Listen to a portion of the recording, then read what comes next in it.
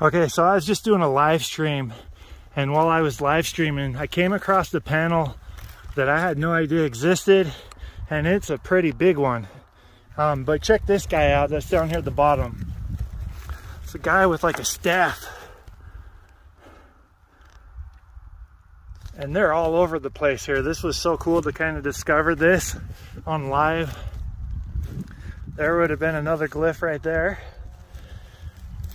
These are some of the oldest glyphs in the state of Utah.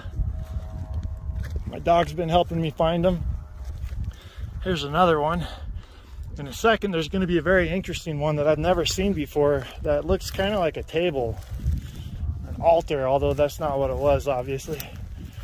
There would have been something right there.